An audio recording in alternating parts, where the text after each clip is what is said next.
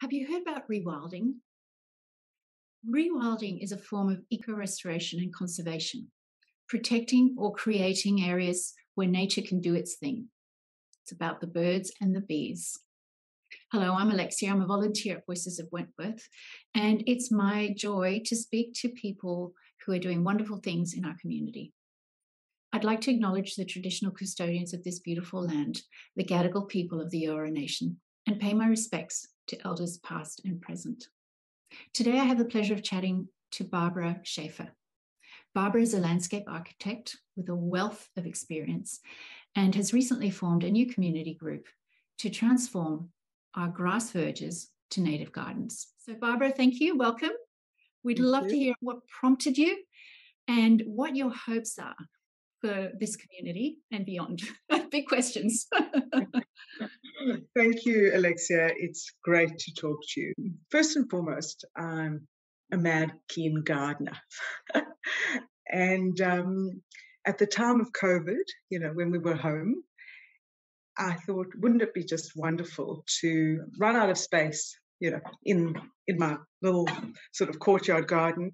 Wouldn't it be great to sort of take over the street and plant you know, a habitat garden on the verge. And I was very aware that um, Waverley Council were promoting this idea. They had put out a um, a draft verge policy, which I'd seen, which I'd commented on, and I thought this is terrific. I'm going to experiment. So I think it was March 2019, at the start of COVID, I began sort of square meter by square meter, you know, lifting up the lawn on our verge, and slowly but surely, I you know, started saying hello to people who I didn't know before, young, old, you know, pets, poodles.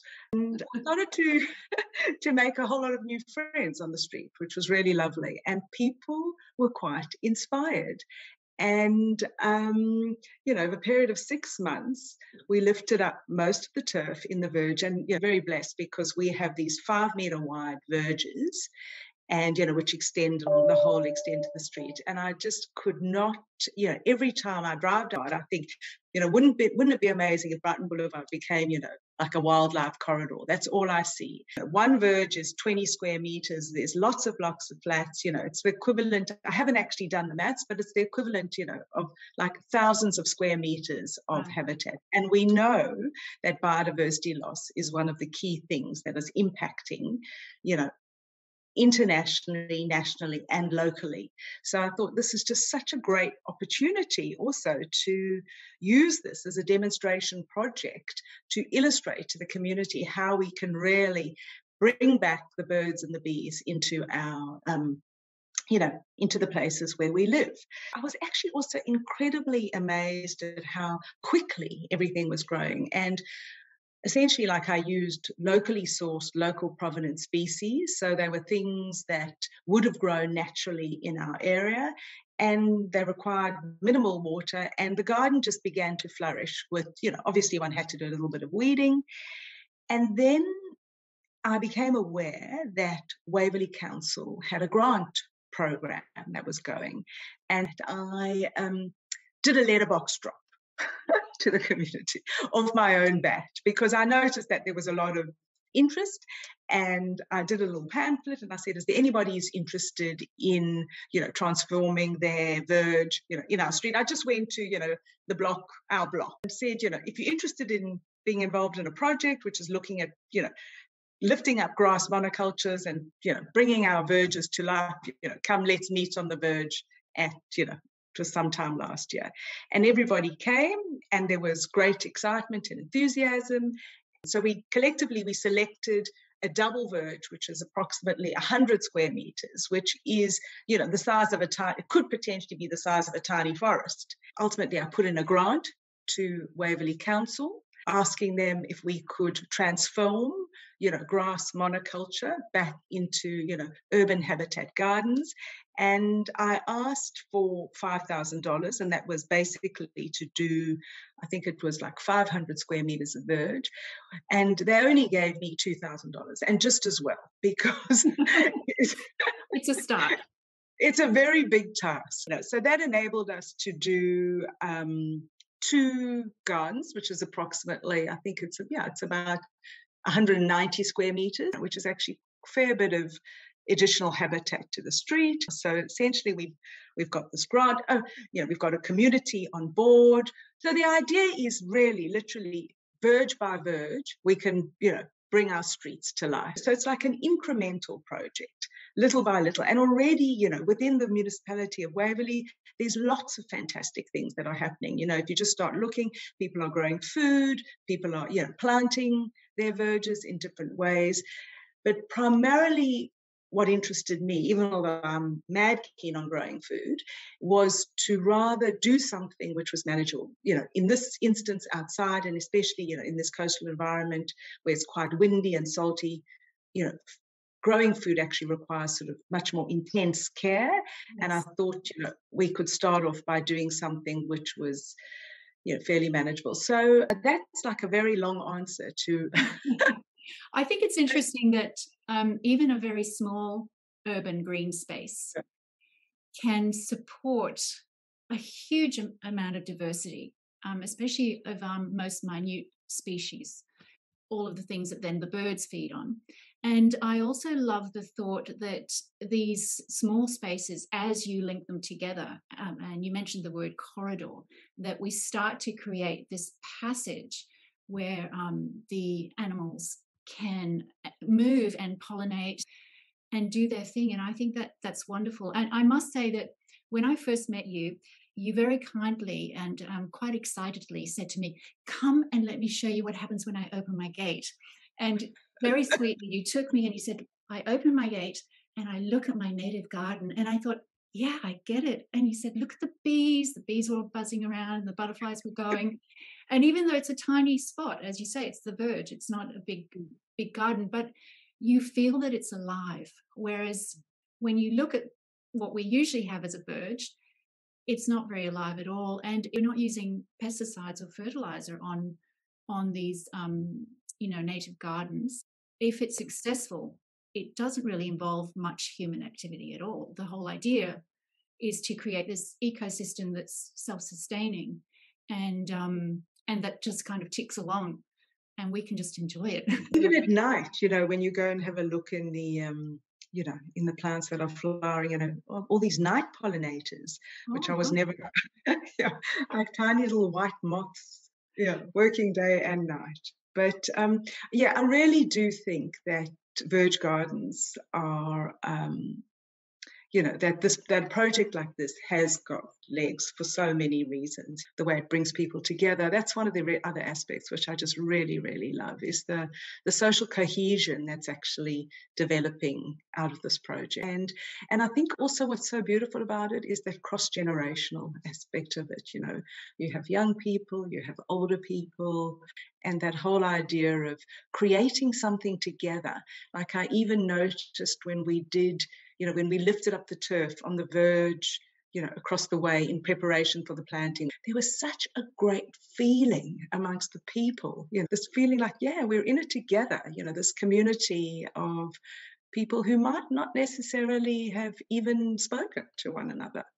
This is all about um, not just the well being of our environment, but also our yeah. own personal emotional well-being we love to come together and work on projects as a community it brings pride of place as well to feel that your mm. area is, is looks good and is being well looked after so the three councils in in the wentworth electorate are all have all got programs on um, mm. some of them offer free plants as well so there's there's plenty of resources for people to get involved if they want to. I've been doing another fantastic project, which is largely with Woollahra Council, which is under the banner of a not for profit that I'm developing called Tree Rites. I don't know if I mm. mentioned this to you. And, you know, Tree Rites is it's about enabling the general public to plant tiny forests on public land to commemorate and celebrate rites of passage. So, oh, births, deaths, marriages. And I've done six or seven plantings with them already. And it's just so that's really working on public land and helping them develop the wildlife corridor that goes from the gap in Vaucluse all the way through to Waverley. So we've been working on Lighthouse Reserve and Signal Reserve, and um, yeah, it's just it's really it's been a fantastic project. And in that instance, you know, council provides the plants, And what I do is, you know, I've been bringing groups of people together around, you know, different important moments in their life. And, um, you know, that has just been really satisfying. Um, I'm in the process of developing a website where there will be expressions of interest for people who want to, and that's why I was in Dungog, because I'm doing a tiny forest installation on a piece of degraded farmland where we're planting a 100 square meter tiny forest. So I've been collecting you know, newspaper and cardboard, and we went up there to because we didn't want to use chemicals to as a way of actually managing the kikuyu. And what kind of plants are you planting in a tiny forest? Well, that's again, you know, the all three stratas. So basically, grasses, shrubs, and trees of locally sourced, local provenance plants that you know are suitable for that area. This is actually another opportunity. I got a grant through Planet Ark really? as part of their National Tree Day initiative. You know, with yeah, my collaborator in there is a woman called Jan Ryan, who's you know a fantastic innovator in her own right. If somebody wants to start up their own kind of rewilding community, where would they start? In the good old days, you know, I was a bit of a what you call a guerrilla gardener, but but actually, I think it's it's great to get permission, so and to work in collaboration because, as you quite rightly say, councils, especially in our municipality or in our electorate, are really really on board, and they um, yeah are looking for people to assist in the process. So you were talking about the Living Corridor program, which is about, you know, enabling local, the local community to transform what might have been sort of, you know, English gardens into habitat gardens. So they provide the plants. So I think it's about going onto a council website, understanding what it is that they're doing, and then working within, and I wouldn't even call it the constraints, working within the opportunities that are actually being provided by, you know, I think Randwick's another council here. The time is right and ripe. And I think that there's lots of opportunities. So, and I think, you know, even in the smallest space, where we live, I've got courtyard garden, you know, and I put a banksia in a tub. I've got eucalypts in tubs, and you see the birds like coming in as the banksia start flowering. You know, they're in pots. Yeah, the birds just come. You can do it one doesn't have to be a purist because even you know one prefers sort of like you know salvias are amazing bird attractors and bee attractors you know. Any flowering plant will attract um you know birds bees moths ladybugs you know. It's all it doesn't actually only have to be native but in mm-hmm. terms of like biodiversity loss you know native species are obviously better yes. but um, in that context. But I think um, it does, and that's the whole thing. You know, it doesn't. We can operate at every scale, and that's what I love about this project. You know, it's manageable, but when you think about the cumulative benefit of verge by verge, you know, like it's extraordinary. All of a sudden, a street becomes a corridor, and um, we have our own tiny forest in a way. Yeah, our na- native forest. Yeah. Well, it's um, amazing what you've started. Um, it does take someone to set the example, and you've certainly done that. You've created something that stops people when they walk by, and um, and uh, you're happy to answer the questions, which is lovely, and you're sharing your expertise, which we really appreciate. It's, it's a fantastic project. Um, there's some great apps now as well. If you're interested in bird watching, I've seen where you can upload the birds that you spot in your garden. So there's, I think that's another great way for communities to get involved and to get excited about what they're seeing. Because as you say, there's lots of apps. There's like iNaturalist, and you can start uploading you know what we see and and we can monitor the changes you know at the moment with grass verge we've got very little but over time we'll be able to monitor the changes and see the different species that perhaps visit us that we mightn't have seen before great way to involve kids for them to understand the importance of of their patch, their little patch, and what they how can they can they can contribute. Well, thank Let's... you so much. It's been super interesting, really very encouraging, and I'm sure people are going to be inspired. And I feel this is the start of a of a movement movement that will roll out. Yeah, some of the young people that were involved created an Instagram site called Rewild Bondi, and um, you know hopefully we will progressively start um, yeah adding all the different things that are happening in our you know in our local environment onto that site. What I'm what I'm really keen to do is just to create a movement around this and um, to get as many people involved as possible. And as you say, I'm absolutely open and willing to take questions, to help. And, you know, I kind of have the experience and I'd love to work with people to, um, yeah, to rewild their patch, be it their garden or their verge. Well, we thank you so much for being the Rewild champion and uh, encouraging us and showing us the way. I'm really excited about what I've seen so far. Thank you so much, Barbara. Um, I will add notes and links to all of the resources that Barbara has mentioned. And um, please get in contact with us if you'd like to know more or go check out the Instagram. And I think Tree Rites will have a website at some point, you mentioned. That's correct, yes. Okay, yeah. so we'll keep people up to Under construction. Yeah. Under construction, okay. So that's all from us. Thank you so much. And uh, thank you to our listeners. If you'd like to know more about these Voices of Wentworth, you can check out our website on voicesofwentworth.org.